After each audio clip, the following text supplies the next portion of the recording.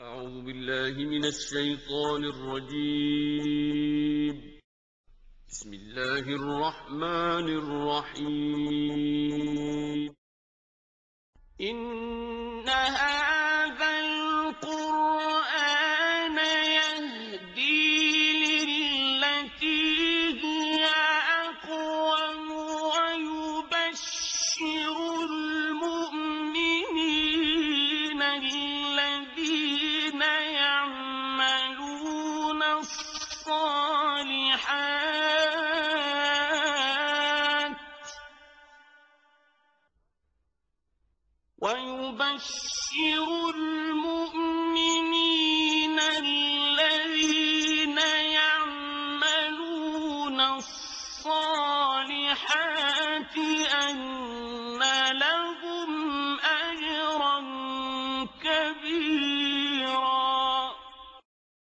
Kur'an en sağlam olana iletir.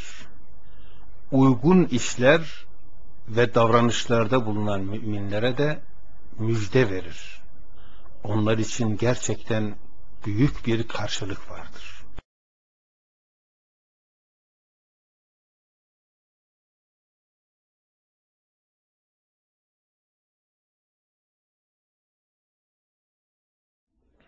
Euzu billahi mineşşeytanirracim. Bismillahirrahmanirrahim.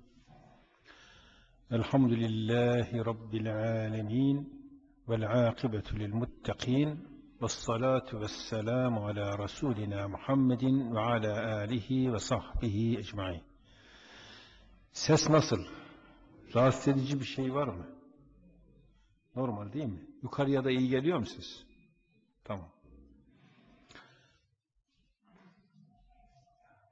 Bugün konumuz sünnete göre yaşamak. Sünnet deyince Peygamber sallallahu aleyhi ve sellemin yolu anlaşılır. Allahü Teala peygamberleri kendilerine itaat edilsin diye gönderir. Biz her namazımızda Fatiha suresini tekrar tekrar okuruz. O surede Allahü Teala bize şu duayı yaptırır. İhdina sıratal mustakim. Ya Rabbi bize o doğru yolu göster.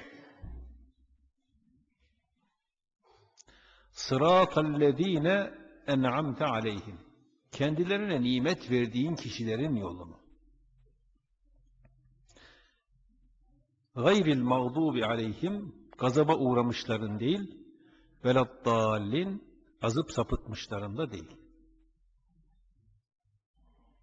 Şimdi nimet verdiği kişilerin başında kim gelir? Peygamberler gelir değil mi? Peygamberler gelir. Muhammed sallallahu aleyhi ve sellem Zengin bir kişinin çocuğu değildi. Hatta babası vefat etmişti. Annesi de vefat etmişti. Bir yetim olarak büyüdü. O devrin en zenginlerinden çok daha zengin olarak dünyadan ayrıldı.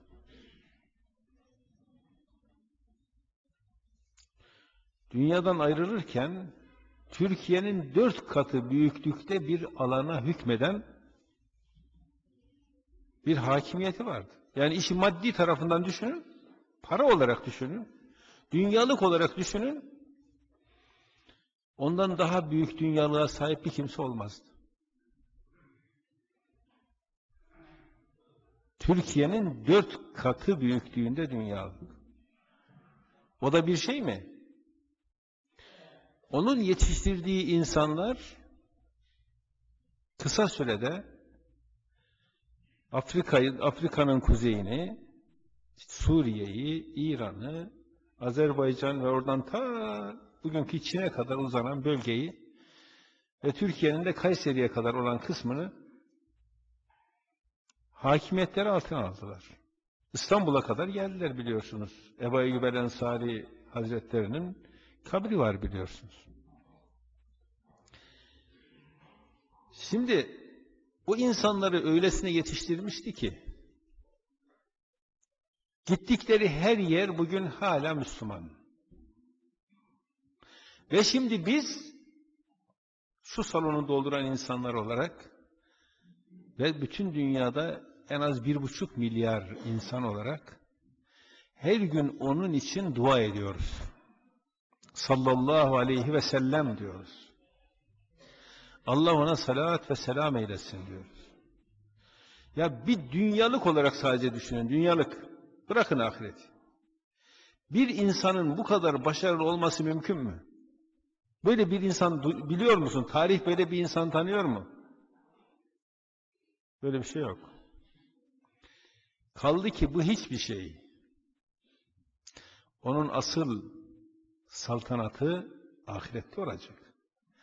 Allahü Teala buyuruyor ki velel ahiretu hayrun leke minel ula.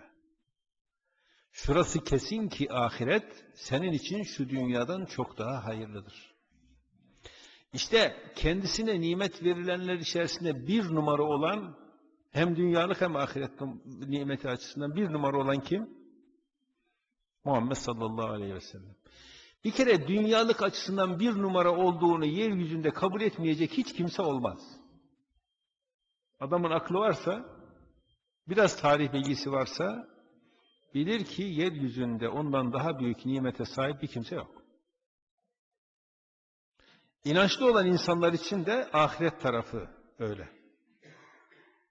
Muhammed sallallahu aleyhi ve sellemin ahirette de çok önemli bir mevkinin olduğu kesin.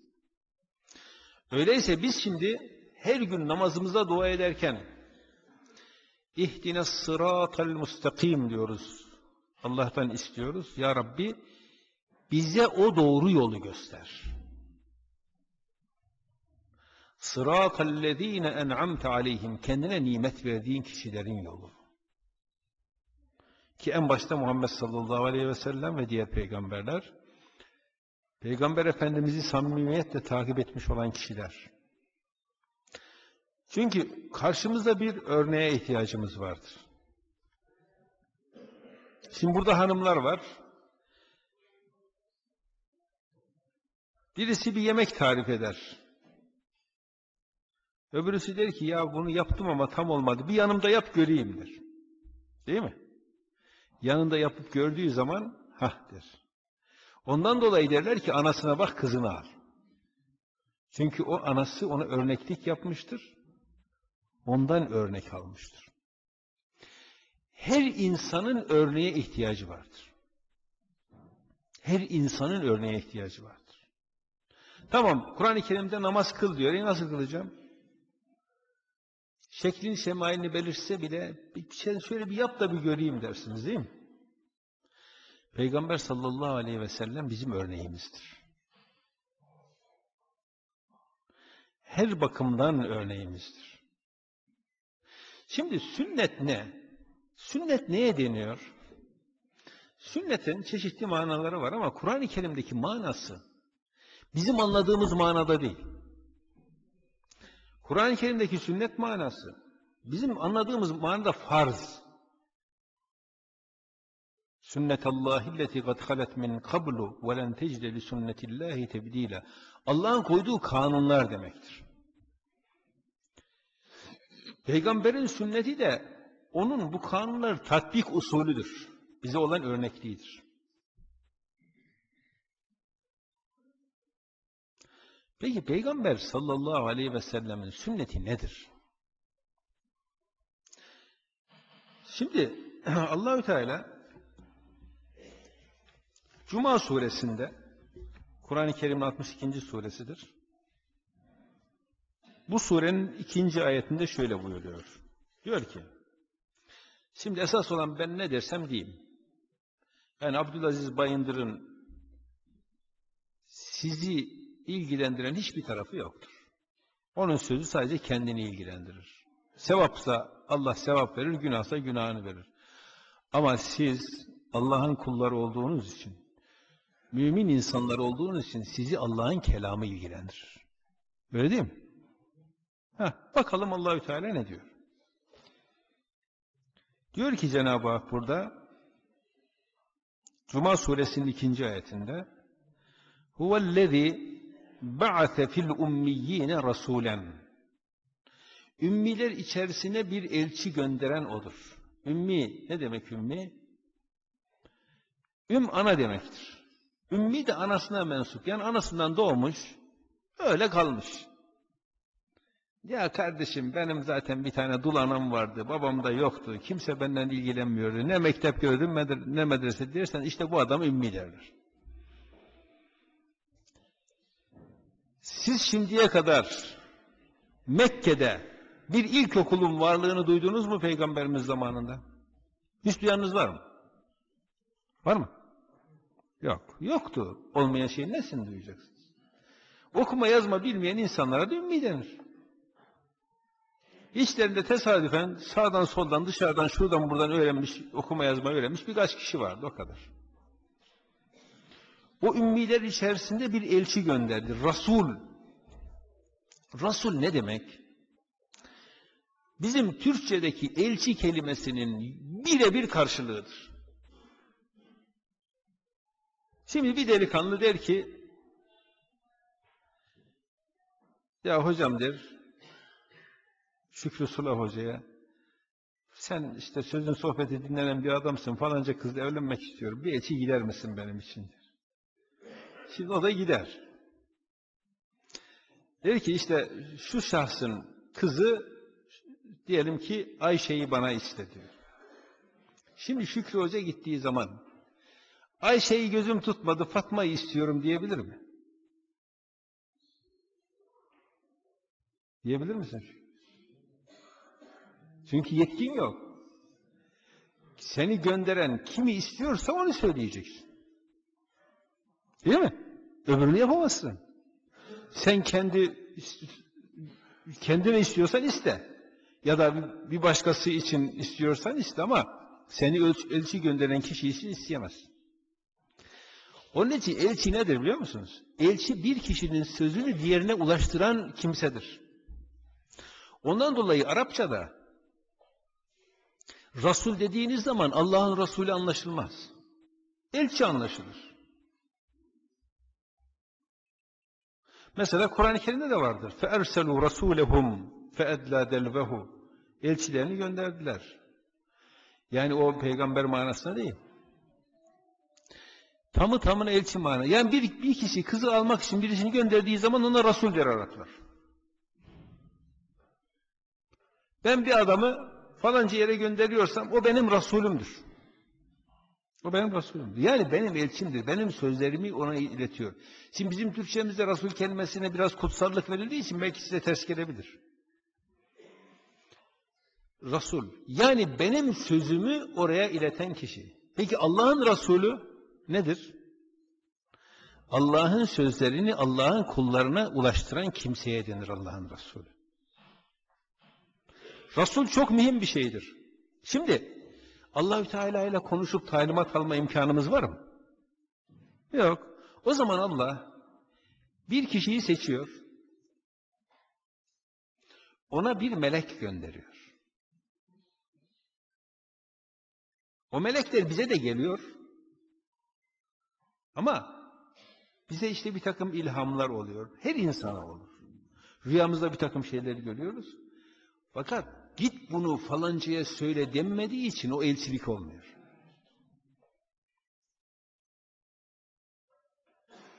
Git falancaya şunu söyle dediğiniz zaman elçilik olur. Onun için senin içine birçok ilhamlar gelebilir. O sadece seni ilgilendirir. Elçilik olmaz. Sen çok güzel rüyalar görüyorsun. Sadece seni ilgilendirir. Hiç kimseyi ilgilendirmez. Ama eğer şey olursa e, biri derse ki git bunu falancaya söyle o zaman o elçilik olur. Allahü Teala peygamberine diyor belliğ ma unzile ileyke min rabbik. Ya eyyuhar rasul belliğ ma unzile ileyke min rabbik. Rabbinden sana indirilen neyse onu tebliğ et. Onun için indirileni tebliğ etmezse elçilik olmaz. Ondan dolayı feillem tefal fema bellagte risaletehu diyor. Bunu yapmazsan Allah'ın sana verdiği elçilik görevini yapmış olmazsın.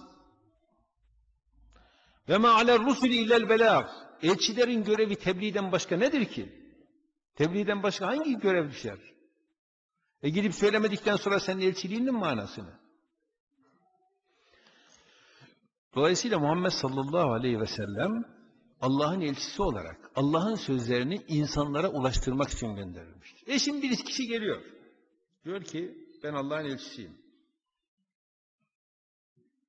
Şimdi ben İstanbul Müftülüğü'nde uzun süre kaldım. Ömer Hoca söyledi.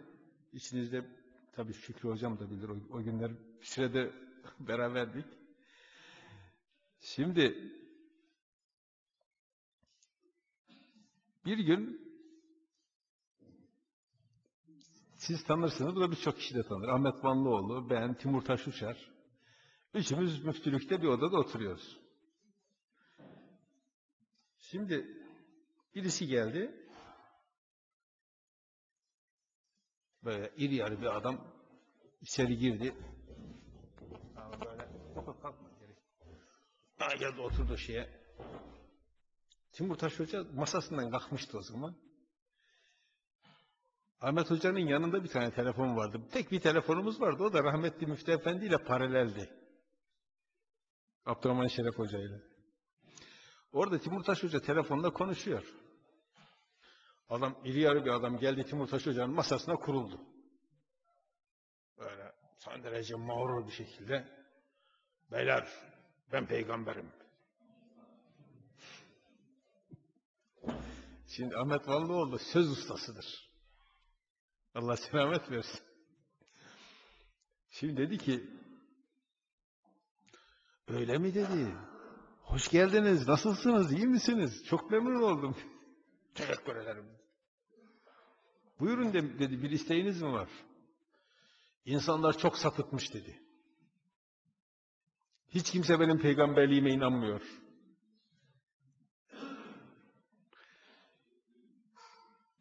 Benim şimdi sizden bir ricam var. Buyurun dedi. Hay hay. Bana dedi bir belge verin. Bir de bir basın toplantısı yapın yoksa memleketin hali perişan Allah'ın bir gazabı gelecek bu milletin üzerine. Bana inanmıyorlar. Ahmet Vanlıoğlu dedi ki affedersiniz dedi siz kimin peygamberisiniz dedi. Allah'ın tabii. E burada bir yanlışlık var dedi. Biz dedi kendi görevlendirdiklerimize belge veriyoruz. Allah'ın görevlendirdiğine belge verme yetkimiz yok.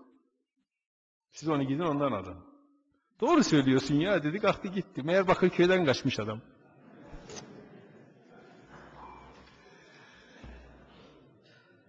Şimdi bir elçi geliyor.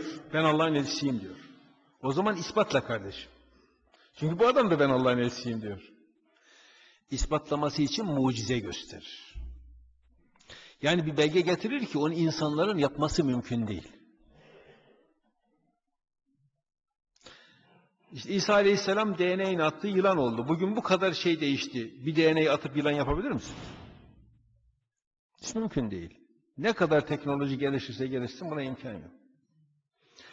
Peygamber Efendimizin mucizesi de Kur'an-ı Kerim. Bunun dengi bir kitap şu ana kadar duydunuz mu? Mümkün değil. O zaman bu Allah'ın kitabı. Bu hem Allah'ın emirlerini taşıyor, Musa Aleyhisselam'ın DNA gibi değil. DNA'nın üzerinde emir nehi bir şey yok. Be- belli zamanlarda mucize oluyor, onun dışında DNA normal bir DNA. Ama Kur'an-ı Kerim hem Allah'ın emirlerini taşıyan, hem Peygamberimizin peygamberlik belgesi olan bir kitaptır. Şimdi elçi olarak geliyor. Şimdi bu Kur'an ayetlerini onlara okuyunca herkes şaşırıyor, beyinden vurulmuşa dönüyor. Ve anlıyorlar ki bu Allah'ın elçisi. O zaman eşhedü enne Muhammeden abduhu ve resuluh deme görevi ortaya çıkıyor. Niye? Çünkü belgesi ortada.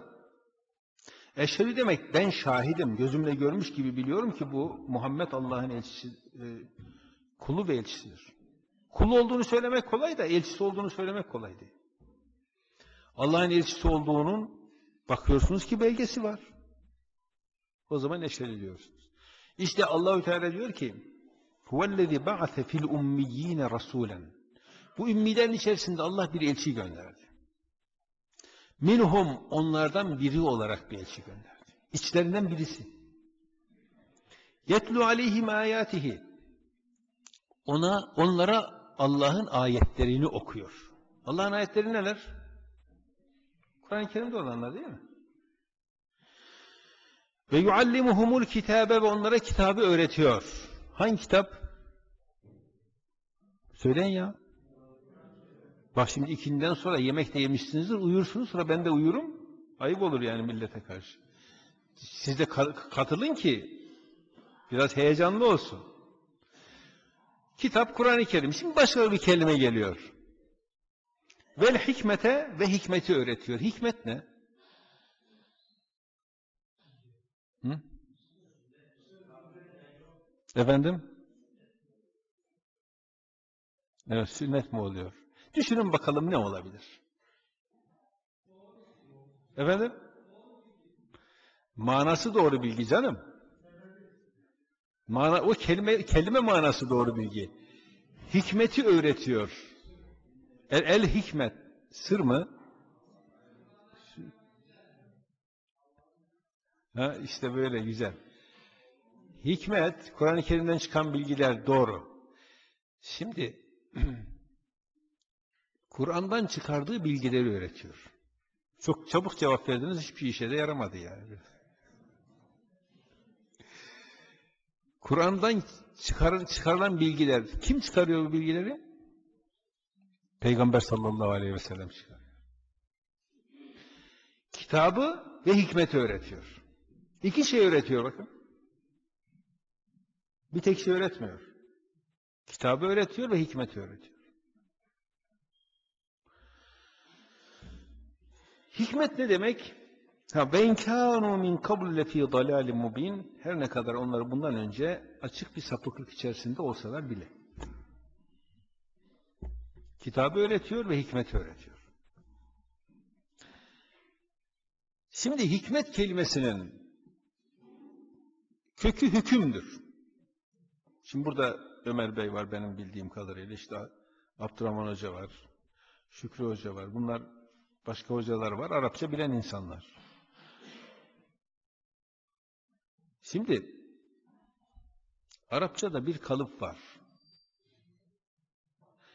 Nısraten diye bir kalıp var. Yani fi'leten, nasraten, nısraten. Nasraten mastar binayı mer, nev, şey, merre, nısraten de mastar binayı nevidir. E, hikmeten de o kalıptadır. Hüküm kökünden gelir. Hikmet bir çeşit hüküm demek.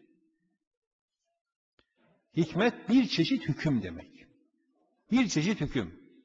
Peki hangi çeşit hükümden bu? İyisi mi kötüsü mü? Yani şimdi bir karar veriyorsunuz ya, mahkemede bir çeşit şey, hakimler şunlar bunlar karar verir. Doğru karar veren de vardır, yanlış karar veren de vardır değil mi? Bir çeşit hüküm. Acaba doğrusu mu yanlışı mı? Bakıyoruz ki Allahü Teala diyor, "E, Allah peygamberine yanlış hüküm verir mi? O zaman doğrusudur değil mi? O zaman doğru karar neye uygun olan karardır? Kur'an-ı Kerim'e uygun olan karardır. Şimdi bir başka ayeti kerime de şöyle.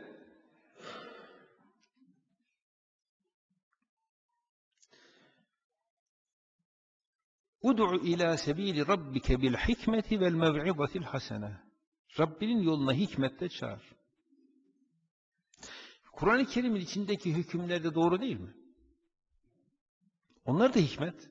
Onlar da hikmet. Onlar da hikmet. Ama bir de ondan çıkarılmış olan hükümler var. Niye? Hü'til hikmete men yeşâ diyor Allah. Hikmeti meşiyet ettiği, kabul ettiği kişilere verir. Yani mesela ateyna Lukmanel hikmete diyor. Lokman'a hikmeti verdik diyor.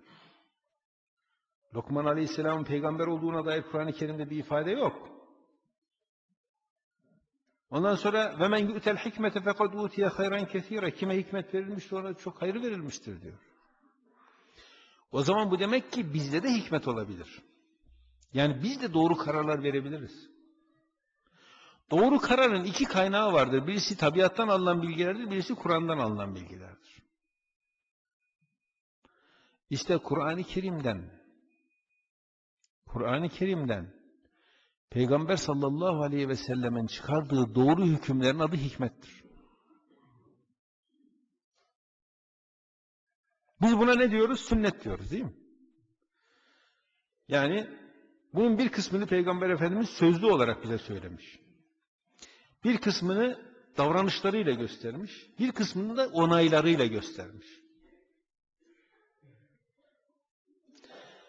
Ve bize de diyor ki لَقَدْ كَانَ لَكُمْ ف۪ي رَسُولِ اللّٰهِ اُسْوَةٌ حَسَنَةٌ Şurası kesin ki Allah'ın elçisinde sizin için çok güzel örnek vardır. O zaman demek ki bize Allah'ın elçisi hikmet örne hikmeti aslında Kur'an'daki tüm hikmetleri ver söylememiş. Ama o hikmetlerin çıkarılış kur- kurallarını öğretmiş. Şimdi şöyle düşünün. Efendim Kaz Dağları'nda altın var. Hemen duydunuz. Kimseye haber verme. iki üç arkadaş altın çıkarmaya gidiyoruz. Alalım kazmayı küreği. O dağlarda çok altın varmış. Şimdi iki üç arkadaş gidip oradan altın çıkarabilir mi? Çıkarabilir mi? Çıkaramaz. Oradan altın çıkarmak için bir kere, çünkü o toprağın içerisinde altını bulmak, altın var, avucun içinde altın var ama onu hiç ayıramazsın ki. Hiçbir işe yaramaz senin o, dediğin altın. O altını uzman olacaksın ayıklamak için. Araçların olacak. Geniş imkanların olacak. Ondan sonra ayıklayıp çıkaracaksın. Şimdi adam uzman değilse gider orada günlerce, aylarca altın arar arar der ki vallahi bizi fena halde birisi aldattı. Ne altın var ne de bir şey var. Hiçbir şey yok. Der. Ondan sonra gelir. Sen uzman olmadığın için orada onu sen sadece toprak görürsün. Orada altın var. İşte birçok kimse de Peygamber sallallahu aleyhi ve sellemin sözlerine bakar, Kur'an'da bu yok der. O zaman bunu Peygamberimiz söylememiştir. Hoppala sen kim oluyorsun da bunu konuşuyorsun? Sana bu yetkiyi veren kim? Sen bu işin uzmanı mısın? Burada altın yoktur dersin. Çekilirsin. Uzman gelir oradan birkaç bin ton altın çıkarır. Ondan sonra sen de ya tüh gördün mü dersin. Şimdi oradan altını her şeyi çıkaramadığı için peygamberimiz çıkarmış bize vermiş. Onun hadisleri Kur'an-ı Kerim'den çıkarılmış altın gibi hükümlerdir. Ha, altının sahtesi yok mu? Altın suyuna batırılmış demirler yok mu? Bunların arasında onlar da karışmış. Onları kim ayıklayacak? Uzmanlar ayıklayacak. Başkası değil. Dolayısıyla işin o bir başka tarafı Allahü Teala'nın Peygamber sallallahu aleyhi ve selleme indirdiği iki şey var. İki şey indirmiş Allahü Teala. Nedir o? Şükrü Hoca ben hafız olmadığım için mecburen yani kusura bakmayın.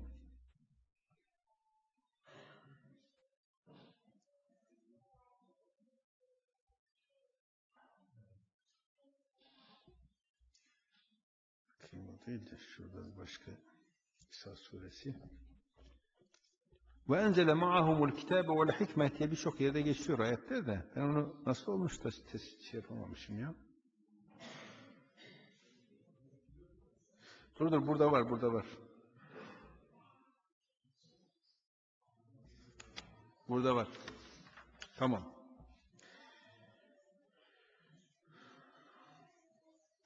Velevla fadlullahi aleyke bu Nisa suresinin 113. ayeti. Ben bunu buraya aslında koymuştum şey işaretini de düşmüş. Yoksa size hiç çaktırmadan bu hoca biliyor dedirtecektim de olmadı işte. Düşmüş.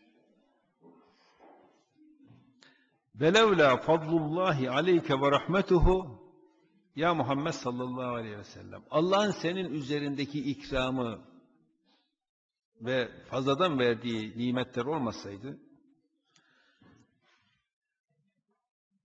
lehemmet taifetun minhum en yudilluk bunlardan bir grup kesin kararlıydı seni saptırma konusunda.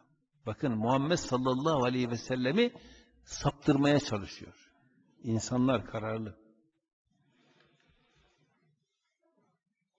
Ve ma yudillune illa enfusehum. Onlar kendilerinden başkasını saptıramazlar. Ve ma yadurruneke min şey. Sana hiçbir şeyle de zarar veremezler. Neden? Ve enzelallahu aleykel kitabe vel hikme. Allah sana kitabı ve hikmeti indirmiştir. Allah kitabı indirdi. Bunu hepimiz biliyoruz. Değil mi? Peki hikmeti nasıl indirdi?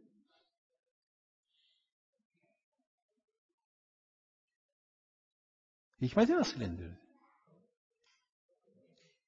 Mesela Kur'an-ı Kerim'de ve enzelel hadid demiri indirdi diyor ayet.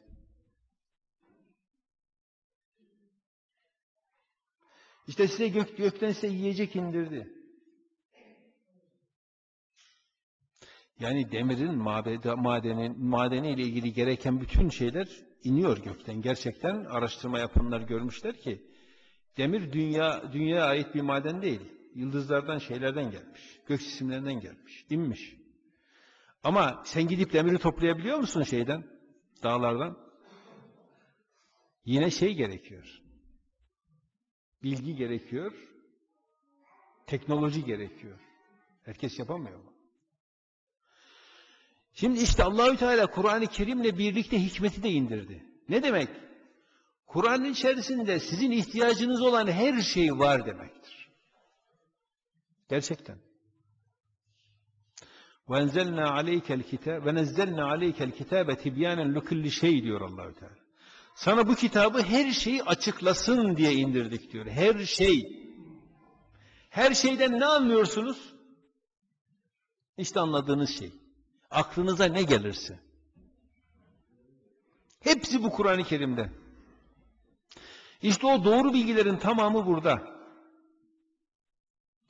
Onların bir kısmını Peygamber sallallahu aleyhi ve sellem bize öğretti, yaşadı.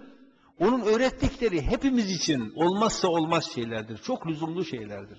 Bu dini yaşayabilmemiz için mutlaka muhtaç olduğumuz şeyleri bize öğretti.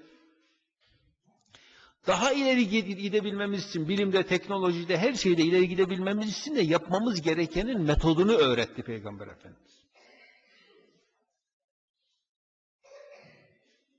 Çünkü usulünü çıkardı. Şimdi meşhur bir tefsir alimiyle, Türk değil ama, Türkiye'deki herhangi birisini zihninizde araştırmayın. Bir tefsir alimiyle konuşuyoruz.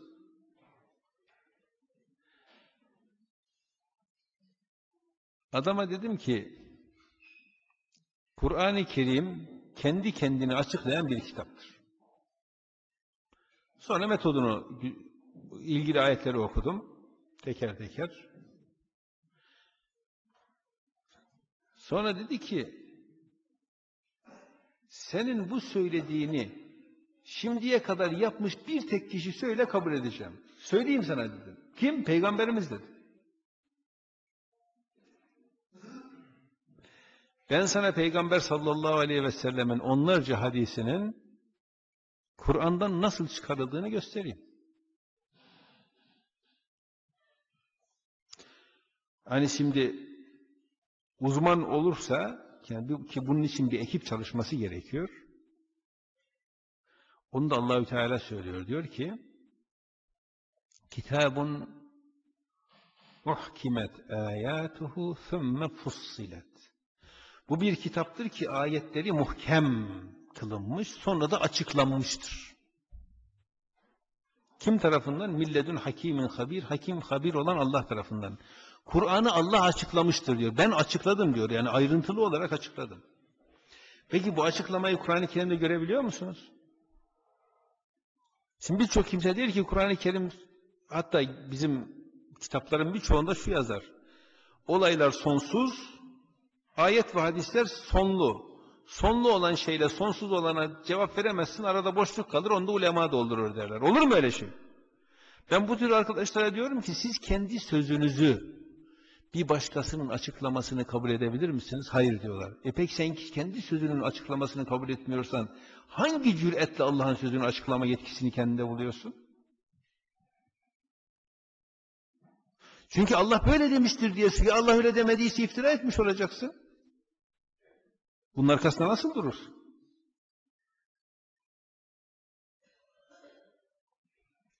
Allahü Teala kitabın nasıl kimin için açık olduğunu da şöyle anlatıyor. Diyor ki kitabun fussilet ayatuhu Kur'anen Arabiyyen li kavmin ya'lemun. Bu bir kitaptır ki ayetleri Arapça Kur'an olarak bilenler topluluğu için açıklanmıştır. Herkes için mi açıkmış? Dersin ki işte Kaz Dağları'nda altın var ya bunu her, bilen herkes anlar. Ama o köylüler yıllardır orada belki bu dağda hiçbir şey olmuyor, ot bile bitmiyor diye terk etmişlerdir. Öyle değil mi? Kur'an kimin için açıkmış? Bilenler için değil, bilenler topluluğu için. Böyle ferd olarak değil. Bir kişi için değil. Nasıl o dağdan altını bir kişi gidip çıkaramazsa, ne kadar büyük e, altın uzmanı olursa olsun, mutlaka bir ekip çalışması gerekir. Kur'an-ı Kerim'den de hükümleri öyle bir kişi çıkaramaz. Ekip çalışması gerekir. Bunu söyleyen Allahü Teala. İşte siz o ekip çalışmasını yaptığınız zaman o ekip çalışmasını yaptığınız zaman bakacaksınız ki Peygamber sallallahu aleyhi ve sellemin sözleri Kur'an'ın içinde zaten var. Yani o bizim altın toprağın içinde zaten varmış ya. Ama onu herkes göremez. O zaman öyleyse insanlar öyle dili uzunluk yapıp da yok ben bu hadise baktım Kur'an-ı Kerim'de yok Kur'an'da olmayan şeyi söylemez. Şimdi bir alim bir yerde bir söz söylüyor. Biz buna çok rastlıyoruz. Bir yerde bir söz söylüyor. Onu dinleyen, konuyla alakası olmayan bir kişi de o sözü kendinin de söyleyeceğini zannediyor. Çıkıyor dışarıda baş, bak, bakıyorsunuz ki ağalık taslıyor. Lan kardeşim bir dakika. Bu sözü o adam söylemişse arkasında durur. O söylediği saklansın. Sen arkasında durabilir misin? Şimdi bir alim der ki Peygamber sallallahu aleyhi ve sellem ne oluyor burada? Şey yapmadın. Ha tamam. Bu problem burada galiba. Orada değil. Tamam. Herhalde tamam güzeldi galiba. Yani orada değil problem burada. Bir alim der ki Peygamber sallallahu aleyhi ve sellem Kur'an'da olmayan hiçbir şeyi söylemez. Yüzde yüz doğrudur. Ama o alim onun arkasında onu söyle sö- söylemek için yıllarca çalışmıştır. Onunla Hı, ne oldu şimdi bak bir şeye bile laf geçiremiyoruz. Düşünün. Evet. Oldu galiba değil mi? Heh. Şimdi onun o sözü söylemek için yıllarca uğraşmış, onun arkasından da nereye geldiğini gayet iyi bilir. Bu konularla ilgili hiç bilgisi olmayan kişi kalkar, bir hadis okur, bir de Kur'an'dan bir, birkaç ayet okur, bu, bu Kur'an'da yok, ben kabul etmiyorum. Hoppala. Lan kardeşim olur mu öyle şey ya? Tabii.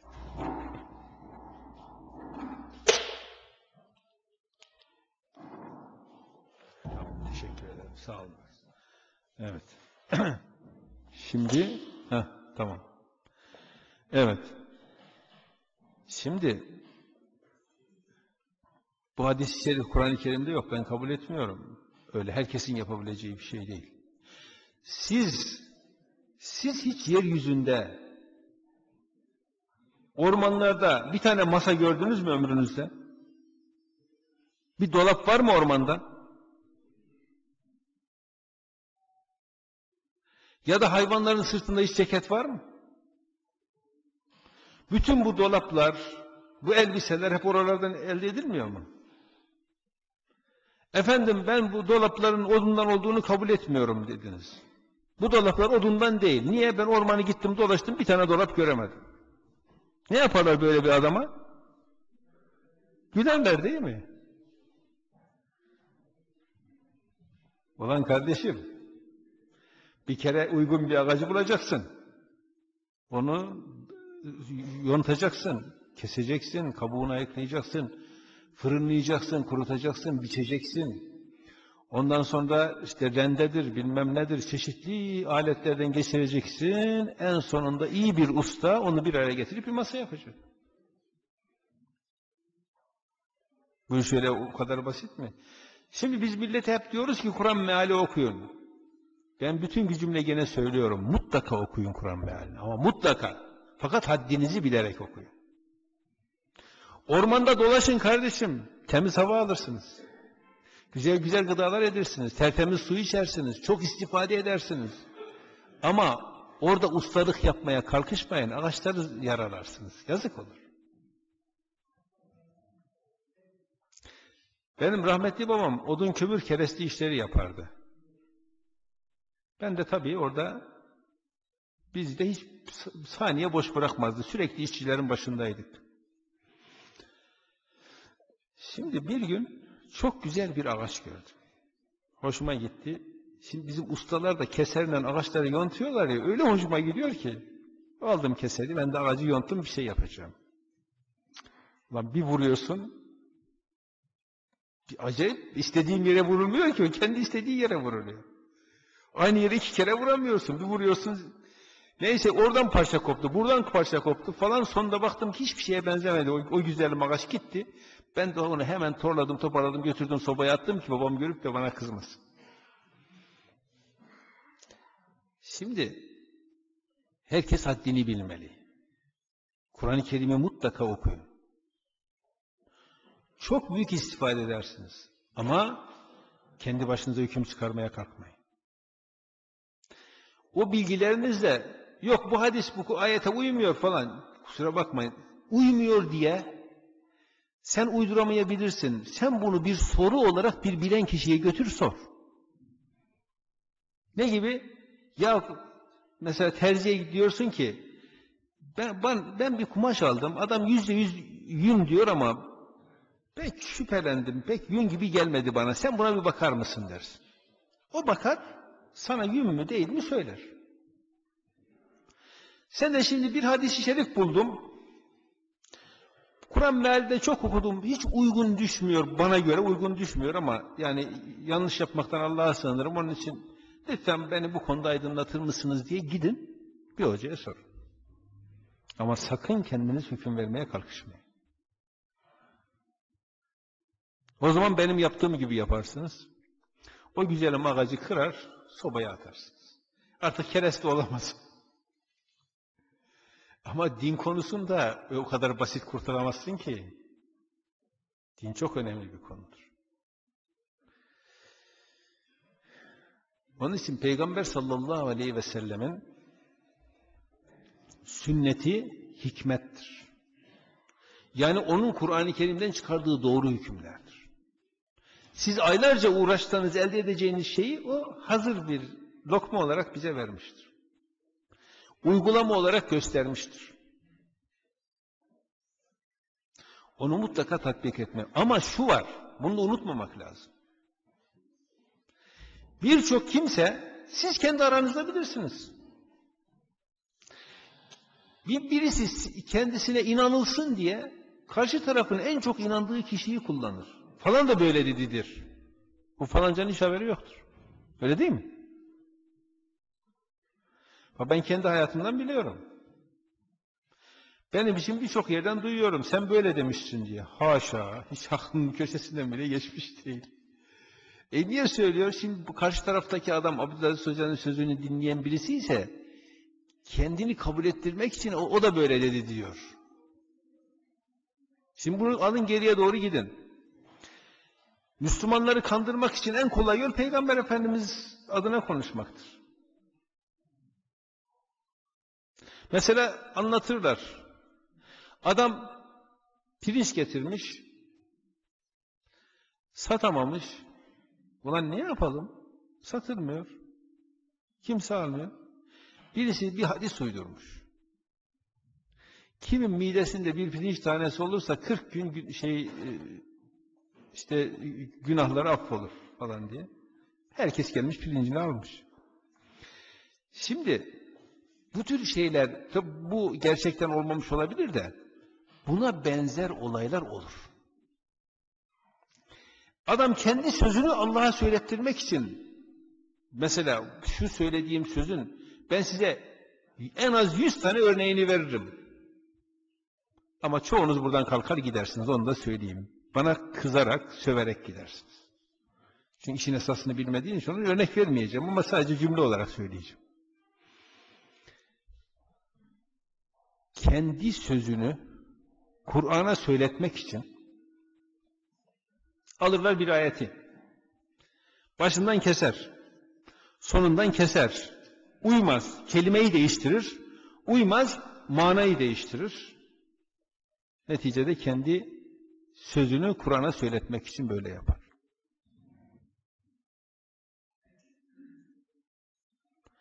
E Kur'an-ı Kerim'e karşı bunu yapan Peygamber sallallahu aleyhi ve selleme karşı yapamaz mı?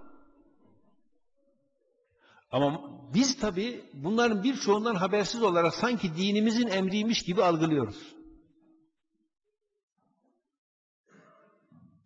E doğruları söylemek de çok zordur.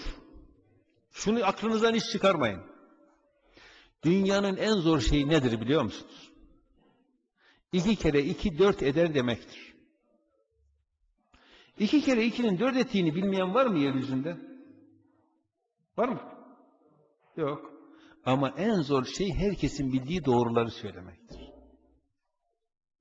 Çünkü insanları doğrular kadar rahatsız eden hiçbir şey yoktur.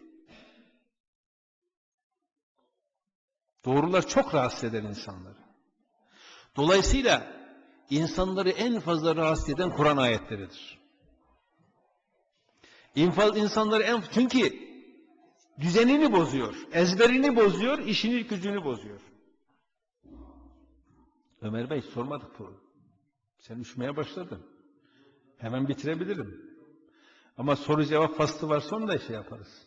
Usulünüzde var mı o Bilal Bey? Tamam o zaman bitirelim. Bir, bir ayet daha okuyayım bitireyim.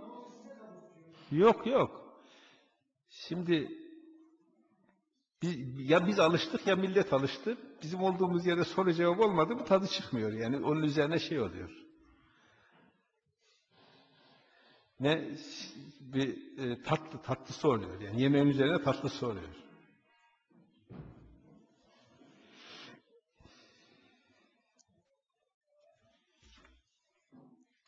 Evet. Son olarak şu ayeti de okuyayım. Sorularınızı alalım.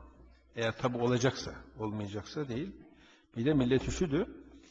Ben konuştuğum için ben üşümüyorum. Allahü Teala şöyle buyuruyor. Diyor ki Ali İmran suresinin 164. ayetinde. لَقَدْ مَنَّ اللّٰهُ عَلَى الْمُؤْمِنِينَ Allah müminlere çok ikramda bulunmuştur. İz ba'ate fihim rasulen çünkü içlerine bir elçi göndermiştir. Min enfusihim kendi içlerinden, kendilerinden birini bir elçi göndermiştir. Yetlu aleyhim ayatihi onlara Allah'ın ayetlerini okuyor. Ve yüzekkihim onları sıkıntılarından arındırıyor. Ve yuallimuhumul kitabe vel hikme onlara kitabı ve hikmeti öğretiyor. Kur'an'ı öğretiyor, Kur'an'dan nasıl hüküm çıkarıldığını öğretiyor. Ve Kur'an'dan nasıl hüküm çıkarıldığı yine, yine Kur'an'dan ayetlerle çok detaylı bir şekilde ortaya konmuştur. Kur'an-ı Kerim evet küçücük bir kitap yani hacim itibariyle işte eline alıp gidiyorsun. Daha küçükleri var cebine koyuyorsun değil mi? Fakat şu eline al, elimize aldığımız şu kitapta yok yok. Ve hiçbir şey bu kitap kadar açıklayıcı ve açık değil. Hiçbir şey bu kitap kadar detaylı bilgi vermiyor. Ama bir şartla. O hükmü nasıl çıkaracağını bileceksin. Şimdi elimde bir cep telefonu var. Bu telefonun şurada 10 tane rakam var. 10 tane rakam var. Yani sıfırdan başlıyor ona kadar rakam var. O 10 tane rakamla kaç tane telefona telefon edebilirim? Yeryüzünde kaç tane telefona ulaşabilirim? He? Hepsine ulaşın. Belki bir milyar telefona ulaşabilirim. Şimdi siz bunu bildiğiniz için rahatlıkla söylüyorsunuz. Ama bunlar 50 sene önce söylenseydi ne denirdi? At, at. Değil mi? Peki ben o 10 tane rakam, rakamla bütün telefonlara ulaşmamın şartı nedir? Telefon numaralarını bilmem. Yani hangi rakam hangisinden sonra geliyor? Öyle değil mi? Aa, işte Kur'an-ı Kerim'de de sonsuz bilgiler vardır. Ama şartı hangi ayeti hangi ayette birlikte anlayacaksın. Bunu anlayabilmemiz için de Allah ayetler arasında benzerlikler koymuştur. Birbirine benzetmiştir ki insanlar bulabilsin o benzerlikler. Buna teşabüh denir, benzeme denir. İki ayet birbirine benzer. Ve bir ikili sistem kurmuştur Allah. Buna da mesani diyor Kur'an-ı Kerim. Bu ikili sistemle birbirine benzer ayetleri bulduğunuz zaman ne kadar çok bulursanız o kadar detaylı bilgilere ulaşırsınız. Ama bulabilmek için uzman olmak lazım. Ve bir kişi asla olamaz. İki de olmaz. Mutlaka ekip çalışması lazım. Hangi ilim dalında çalışıyorsanız o ilim dalının mutlaka iyi uzmanları olması lazım ve o ekip içerisinde çok iyi Arapça bilenler olması lazım. E şimdi siz sadece bir mealden bunlara ulaşamazsınız. Çünkü meal verilen manalardan sadece bir tanesini ancak yansıtabilir. Yani meali kim yaparsa yapsın. O anlamlardan sadece bir tanesini yansıtır. Ayetler arası ilişkiyi zaten kuramaz meali yapan kişi. Yani işin tabiatı gereği.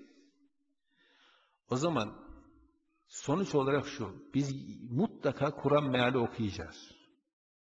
Ama benim gibi ustalığa kalkmayacağız. Hadisler mutlaka Kur'an-ı Kerim'e uygun olmalı. Ama o uygunluğu biz tespit etmeyeceğiz. O uygunluğu uzmanlar tespit edebilir. O zaman bize, zihnimize ters düşen bir şey varsa yapacağımız gidip uzmanına sormak olmalıdır. Karar vermek değil. Evet. Burada ben bitirmiş olayım. İsterseniz kapatabiliriz Bilal Bey. Üşümüş görüyorum sizi. Şöyle yapıyorsunuz. Ben hareketliyim nasıl olsa. Bende bir şey olmaz. Cemaatten de bazıları yumuluyor, bazıları geriliyor. Hangisine göre hüküm vereceğim bilmiyorum. Ama Şükrü Hoca'nın keyfi yerinde.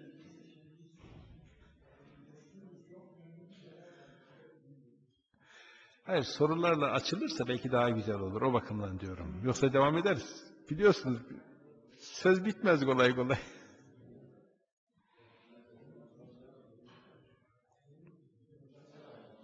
Bitirelim mi? Yok, dakika meselesi değil yani. Şey değil. Peki, tamam anlaşıldı. Siz soru sormak istemiyorsunuz.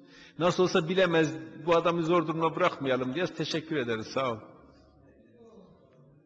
Bir şey mi diyecek? Buyurun.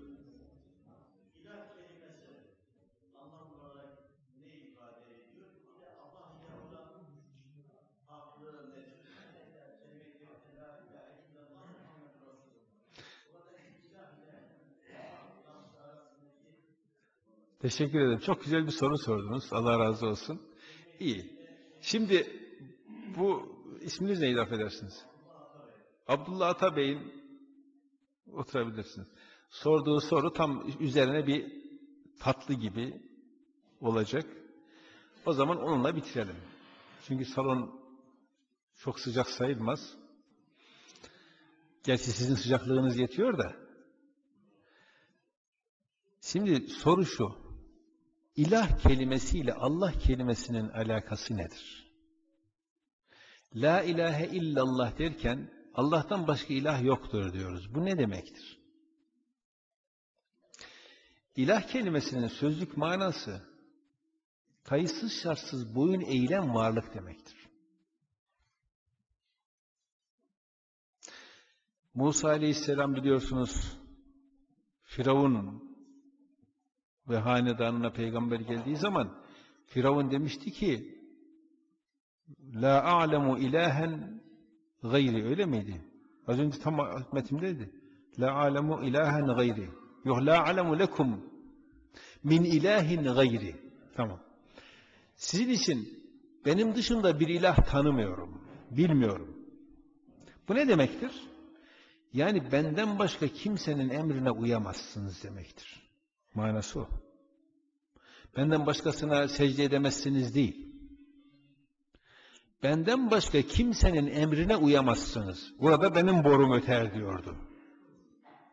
Halbuki Musa aleyhisselam gel Allah'a kul ol diyor. Benden başkasına olmaz diyor. Onun için ve ma min ilahin illallah. Tabi Allah'ın dışında ilah yoktur. Yok ben o şeyin Firavun'un sözünü söylemeye çalışıyorum. Ve şey ene rabbukumul a'la dedi. Ben sizin en yüce Rabbinizim. Yani şimdi en yüce Rabbinizin dediğiniz zaman millet tedirgin oluyor da tam bunun Türkçe karşılığı sizin en yüce efendinizim dediği zaman herkes çok tabii karşılıyor. Yüce efendi demektir. Efendi demek? Yani benden başkasını öyle ben benden başkasının sözüne de uyamazsın demektir. Uyarsan bil, görürsün. İlah bu. İşte e, bunun Türkçe karşılığı Tanrı'dır. İlahın Türkçe karşılığı, birebir Türkçe karşılığı Tanrı'dır. Şimdi gök tanrısı, yer tanrısı, bilmem şu tanrı, bu tanrı var ta tarihte değil mi? Başka yerlerde de tanrı yerine ilah diyorlar. İşte şu savaş ilahı, barış ilahı, işte bilmem hasat ilahı falan filan. Çeşitli ilahlar söyleniyor. Hiçbir ilah yok. Sadece Allah var. İlah olarak. Yani kayıtsız şartsız emrine boyun eğilen bir tek varlık vardır. O da Allah'tır. Peygamberin emrine de kayıtsız şartsız boyun eğilmez. O Allah'ın elçisidir. Allah'tan haber verdiklerine kayıtsız şartsız boyun eğilir. Çünkü elçilik gereği söylenendir. Ama kendi görüşleri tartışılabilir. Çünkü o, o peygamber olmasaydı da konuşacaktı. Görüş belirtecekti. Kendine ait olan sözler tartışılabilir. Nitekim e, sahabe-i kiram Bedir Savaşı'nda Peygamber sallallahu aleyhi ve sellem askeri konuşlandırmış, yerleştirmiş. Gelip diyor ki Habbab olması lazım yanlış hatırlamıyorsam. Ya Resulallah diyor bu askeri yerleştirdin ya bu Allah'ın emri mi yoksa senin şahsi görüşün mü? Selman-ı Farisi değil o şeyde. Daha sonra Hendek Savaşı'nda. Diyor ki bu benim görüşümdür diyor. O zaman yanlış diyor. Şunu şöyle yap, bunu böyle yap. Peygamber Efendimiz diyor ki tamam. Doğrusu senin dediğindir. Onun için Peygamber sallallahu aleyhi ve sellemin sözü Allah'tan yani peygamber olarak söylediklerinin hepsi Allah'tan olduğu için men yuti'ir rasule fakat ata Allah demiştir Allahü Teala. Kim Resul'e itaat ederse Allah'a itaat eder. Çünkü Resul Allah'ın sözünü söyler. Kendiliğinden bir şey söylemez. O zaman ilah kayıtsız şartsız boyun eğilen tek varlık Allah'tır. La ilahe illallah dediğimiz zaman Allah'tan başka ilah yok demek, Allah'tan başka hiç kimsenin sözünü kayıtsız şartsız kabul etmeyiz. Allah'ın dışındakilerin sözünü kabul ederiz de, kaydı vardır. Allah'ın emrine aykırı olmaması lazım. Şartımız vardır. Doğru olması lazım. Yani Allah'ın emrine uygun olması lazım. Şimdi la ilahe illallah. Biz de tevhid inancı nedir diye sorsak genellikle denir ki Allah'ın varlığına ve birliğine inanmak der. Bir tane şey Danimarkalı bir papaz bana dedi ki Ömer Bey hatırlar bu ba- Bahar'ın gelmişti ya bizim dersime girdi. Son şeyde. Derste anlattık. Türkçe de biliyor. Dersten sonra bana dedi ki sen bize müşrik diyorsun dedi. Katolik. Sen bize müşrik diyorsun dedi. Dedim derste hiç öyle bir söz geçmedi ama demek başka sözlerimden duymuş. Ama siz müşriksiniz dedim. Olur mu dedi biz Allah'ın varlığına birliğine inanıyoruz. Dedim sen zannediyorsun ki sadece sen inanıyorsun Allah'ın varlığına birliğine. Herkes inanıyor. Allah'tan başka ilah olmadığına da inanıyor musun dedim. Orada sustu. Peki İsa'ya ne diyorsun? İlah diyor musun? İlahtır. İşte ona, ona da ilah dedin ona da. Oldun müşrik. İşte müşrik oldun. Onun için tevhid inancı Allah'ın varlığına ve birliğine inanmak değil. Allah'tan başka ilah olmadığına inanmaktır. Bu çok önemli.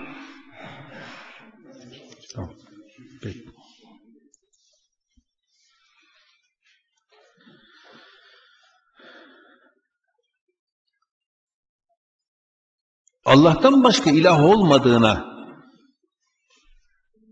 inanmaktır. Yani la ilahe illallah'tır bizim. Bizim farkımız odur. Yoksa İbrahim Aleyhisselam'ın toplumundakiler de Allah'ı kabul ediyorlardı. Bugün şeye gelen Hristiyanlara Allah vardır, birdir, ondan başka ilah yoktur bile diyorlar. Onu bile söylüyorlar. Ama İsa Aleyhisselam'a ilah dedikleri an müşrik oluyor. Yani bizim inancımız Allah'tan başka ilah olmamasıdır. Ben gene bir başka papaza sordum. Dedim ki İsa Aleyhisselam'a ilah diyorsunuz ya, elinizde bir deliliniz var mı dedim. Yoktur dedi. Peki dedim Allah'ın varlığına ve birliğine dair delil var mı? Sonsuz dedi. Bak dedim Allah'ın varlığı için sonsuz delil var. İsa'nın ilahlığı için hiçbir deliliniz yok. Hiçbir delil olmadan nasıl onu ilah sayıyorsunuz? Zaten bütün peygamberler de onu söylerler. E dedi ki İsa'ya inananlar bunu hissederler dedi. Hissederlerle olur mu bu iş? Şimdi bu akılla anlaşılmaz dedi. E, ama insanlar akıllı ne yapalım dedim. Dolayısıyla la ilahe illallah çok önemli. Allah'tan başka emir kaynağı yok. Resulullah Allah'ın Resulü olduğu için onun zaten Allah'ın emirlerini ondan öğreniyoruz. Resul olmazsa Allah'ın emrettiğini neden bileceğiz? Ne emrettiğini? Şimdi bunlar bu, bu burada bunların ayetlerin tamamı Resulullah'ın ağzından bize gelmedi mi? Resulullah olmasaydı Kur'an-ı Kerim olur muydu biz bizim için? Evet, şimdi bir soru daha var. Finans kurumlarından alınan kar payları helal mıdır? Şimdi finans kurumları ki artık adları katılım bankası oldu. İki türlü iş yapabiliyorlar bugün resmen kanunlarında. İsterlerse yüzde yüz ticaret yaparlar. Mal alır satarlar. Bundan elde ettikleri kar helaldir. İsterlerse yüzde yüz faizcilik yapabilirler. Kanun onlara da o, o, o imkanı da veriyor. Ondan elde edilecekleri kar da faizdir. Kar değildir yani faizdir. Hangisini yapıyorlar? Bunu söylemek çok zor. Artık o da size kalmış. Onu siz araştıracaksınız. Ne bileyim. Şimdi şu şu finans kurumunun şu şubesi yapar, öbür şubesi yapmayabilir. Bilemem. O konuda söylemek mümkün değil. Ama şunu bilin ki son çıkan kanun finans kurumlarına yüzde yüz faizcilik yapma yetkisi vermiştir. Ama yüzde yüz faizsiz çalışma imkanları da vardır. Nasıl yapıyorlar onu bilmiyorum. Gümrüklere ödediğimiz paraları ödemeden niyet ederek zekata sayabilir miyiz? Şimdi bu bunu bu, bu soruyu soran zat tabi şeyden okumuş mutlaka kitaplardan eskiden ticaret mallarının zekatı gümrüklerde alınırdı. Yani gümrüklerden geçerken Zekatı alınır. Müslümanların mallarının zekatları alınırdı. Şimdi biz bu gümrüklere ithalat yaptığımız zaman gümrüğe verdiğimiz vergileri malın maliyetine katıyoruz. O zaman öyle bir şey değil. Malın bir parçası olarak alınırdı ve maliyete katılmazdı. Bizim bir, mal ithal ediyoruz. Malın bize maliyetini hesap ederken gümrük vergisini de ilave ediyor ve ona göre fiyat biçiyoruz. O zaman bu iş zekatta olmaz. Çünkü ona biz onu maliyete katıyoruz. Evet. Peki böylece bu işi bitirelim yoksa millet hasta edeceğiz.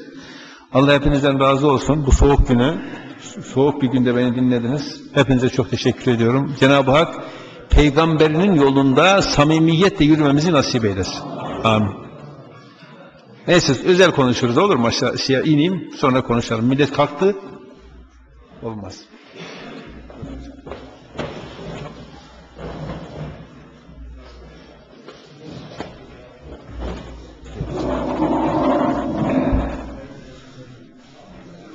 Hocamıza teşekkür ediyoruz. Allah razı olsun. diyoruz. Aşağıda konuşalım. Hocalar hocası Abdülhamid Aşağıda konuşalım? Her zaman davetlimizdir. Onun e, konferansına katılım eskiye nazaran daha fazla olmuştur.